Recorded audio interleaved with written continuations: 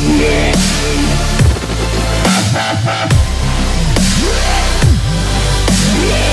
Published, 1651 Eastern Daylight Saving Time, the 4th of October 2018. Updated, 1651 Eastern Daylight Saving Time, the 4th of October 2018. Sir David Garrard quit the Labour Party in March over the ongoing anti-Semitism. Property developer Sir David Garrard, who donated £2 million to Labour before the 2015 general election, quit the party in March over the ongoing anti-Semitism row.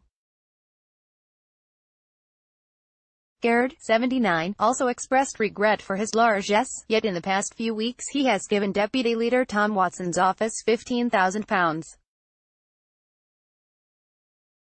My Westminster source explains, there's no better way to irritate Jeremy Corbyn than by giving money to Watson. Santander's incoming boss, Suave Italiano Andrea Orcel, has been described as a determined alpha male who likes to get what he wants, although the ex-UBS banker, 55, will hold the title of chief executive. Overall in charge at the bank remains its redoubtable executive chairman Ana Botín, 58, whose family controls Santander. Wonder how that's going to play out. An erstwhile colleague mischievously smirks, past the popcorn. Competitors in this weekend's Alfred Dunhill Golf Championship at St Andrews include ex-Barclays boss Bob Diamond, Richemont chairman Johann Rupert and Aberdeen Standard chief Martin Gilbert, accomplished players all, who should more than hold their own in tackling the world's most famous golf course, unlike my colleague Piers Morgan, who judging by some of his practice shots yesterday looks likely to be keeping the greenkeepers busy.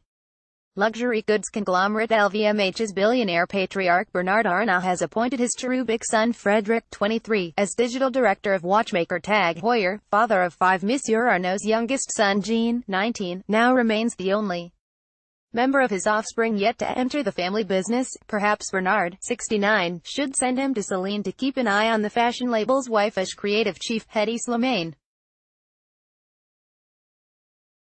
His debut collection was universally panned this week. Fulham Football Club's fabulously mustachioed owner Shahid Khans has a floating gin palace Kismet, which was comfortably the biggest vessel on display at the recent Monaco Yacht Show, the 312 feet. Monster has eight bedrooms, a 28-man crew and is available for charter at £1 million a week. Is anyone daft enough to pay that much? Sighs my Monaco mole, well, Beyonce and Jay-Z certainly were this summer.